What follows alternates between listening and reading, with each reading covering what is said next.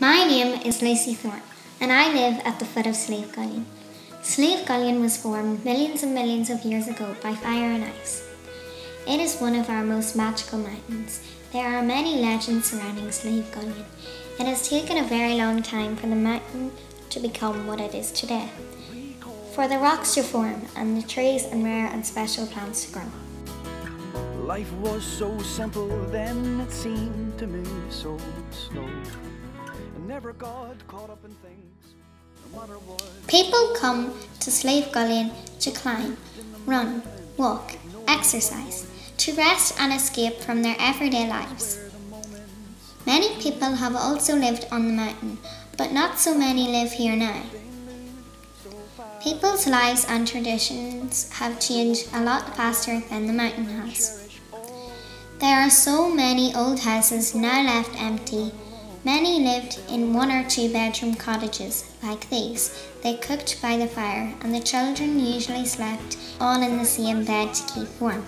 People have moved on and things have changed, but the memories aren't gone.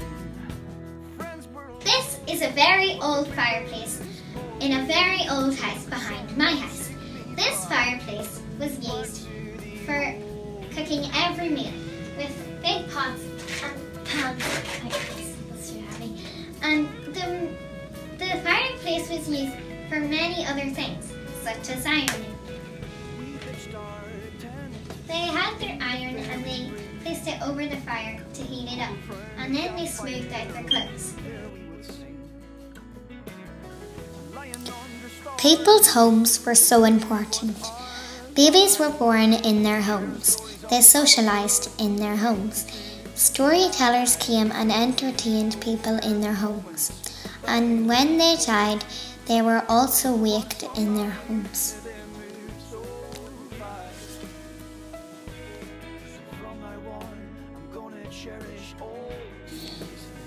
This is where my great grandparents and their neighbours came to wash their clothing and their pots and pans.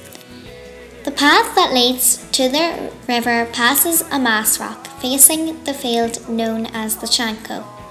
This means Old Church in Irish.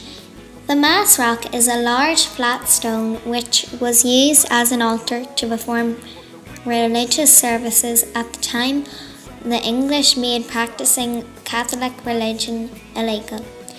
People would disobey the law and hold their ceremonies in secret at the Mass Rock. Beneath the Shankill is a souterrain, a small cave where the priest could hide from the British soldiers.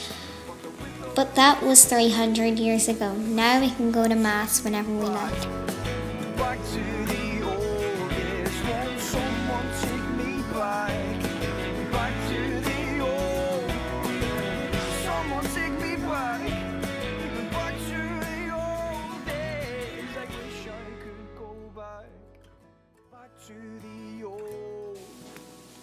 Farming has also changed quite a lot.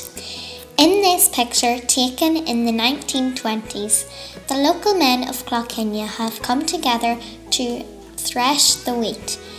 Every neighbour helped each other.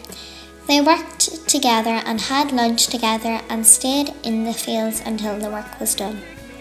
Nowadays, farming is done mostly by machinery, by the farmer themselves or a contractor. This is my granda Andy in his tractor. Hello, Lucy. This is my great granddad Paddy Murphy having his lunch in the field. He was a shopkeeper, a farmer, and an undertaker. His shop is closed now, but once you could buy groceries, sweets, welly boots, buckets, chains, shovels, and many, many more things. People came to socialise and drink bottles of stout in his parlour. This is known as a shebeen. My nanny Josie remembers Michael J. Murphy telling stories in his parlour stories of banshees, ghosts, priests, and foolish people. so simple then it seemed to move so slow. Thank you for listening to me about our changing times. And remember your stories, keep them well, a memory forgotten you can never retell.